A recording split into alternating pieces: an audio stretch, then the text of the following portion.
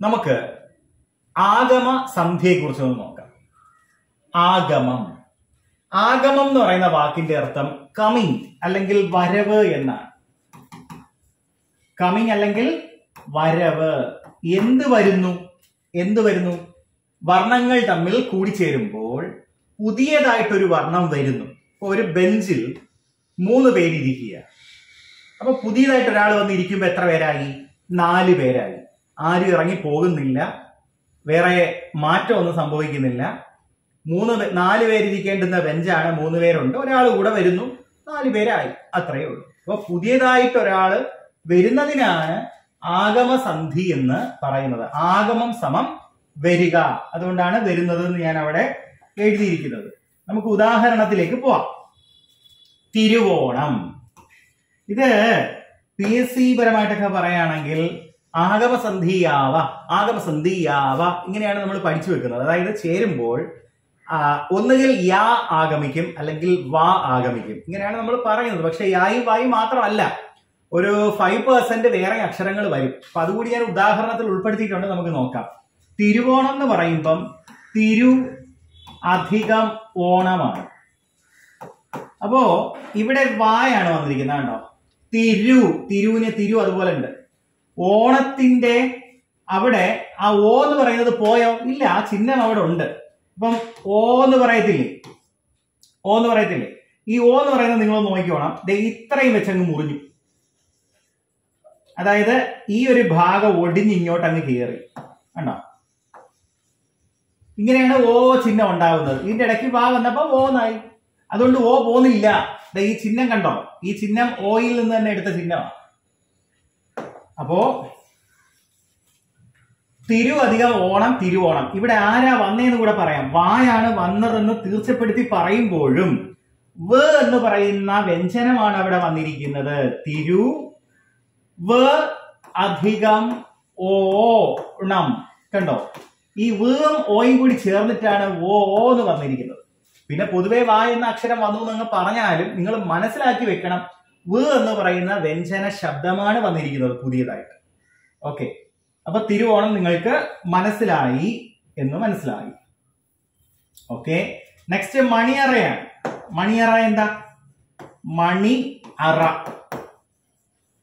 മണിയറ. ആരാ വന്നേ? ആ ഉണ്ട് യ യ യാ എന്ന് പറയുന്ന ഒരു അക്ഷരം ആയുടെ കൂടെ ചേർന്ന് യാ ആയി അപ്പൊ യാ പുതിയതായിട്ട് വന്നതുകൊണ്ട് മണിയറ. തലയോട്. തല ഓട് ഓക്കെ അയ്യായാണ് ഇവിടെ വന്നത്. ഓ എന്ന് പറയുന്ന ചിഹ്നം. തല പ്ലസ് ഇക്ക്. ഇക്ക് എന്ന് പറയുന്ന വിഭക്തിയാണ് ചേർന്നിരിക്കുന്നത്. ഇക്ക്. അപ്പൊ ഇടയ്ക്ക് ഒരു സൗകര്യത്തിനായിട്ട് ഉച്ചാരണ സൗകര്യത്തിനായിട്ട് യാ കൂടെ വന്ന് തലയ്ക്ക് എന്നായി. പുതിയതായിട്ട് പുതിയതായിട്ടൊരു വർണം വന്നതിനാൽ ആഗമസന്ധി.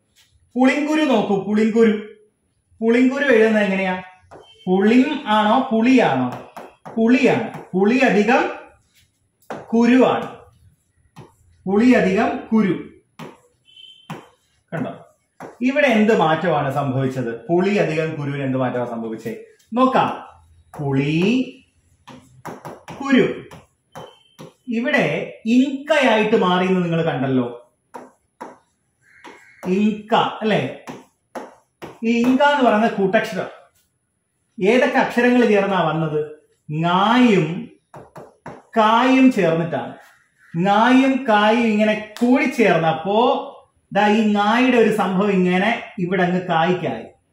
അങ്ങനെ ഇങ്ക എന്നങ്ങായി. നായി ഈ കായ്ക്ക തിരിച്ചു കയറി. നായും കായും കൂടി ചേർന്നിട്ടാണ് ആരുണ്ടായത്? ഇങ്ക ഉണ്ടായത് അപ്പൊ കുരു ഓൾറെഡി അവിടെ ഉണ്ട് പുളിയും ഇവിടെ ഉണ്ട് പുതിയതായിട്ട് വന്ന അക്ഷരം ആരാ? ങാ അപ്പോ ആഗമസന്ധിയിൽ യായും വായും മാത്രമല്ല ങായും വരും. അപ്പോ പുളി അധികം കുരു പുളിയും കുരു. ആര് ആഗമിച്ചു? ങ എന്ന് പറയുന്ന അക്ഷരം ആഗമിച്ചു. കുറച്ചുകൂടെ ക്ലിയർ ആയിട്ട് പറഞ്ഞാൽ ങ എന്ന് പറയുന്ന വർണം ആഗമിച്ചു. അതായത് പുതിയതായിട്ട് വന്നു. മനസ്സിലായോ? അതുപോലെ തന്നെയാണ് കരിമ്പുലി. കരിമ്പുലി. കരിമ്പുലി എങ്ങനെ എഴുതുന്നത്? കരി പുലിയാണ് അല്ലാതെ കരിം ഒന്നുമില്ല. കരി പുലി കരി പുലി എഴുതുന്നത് എങ്ങനാ? ഞാൻ ഇടയ്ക്ക് ബോർഡ് മായിക്കുവേ. കരി അധികം പുലി. കരി അധികം പുലി എന്ന് പറയുമ്പോൾ അവിടെ എന്ത് മാറ്റം വന്നു നോക്കൂ. കരി അധികം പുലി എന്ന് പറയുമ്പോൾ കരി പുലി. ഇവിടെ ഇമ്പ ആണ് വന്നിരിക്കുന്നത്. എന്ത് മാറ്റം സംഭവിച്ചെന്നറിയാമോ? ഇംപ മീൻസ് മായും പായും ചേർന്ന അക്ഷരം.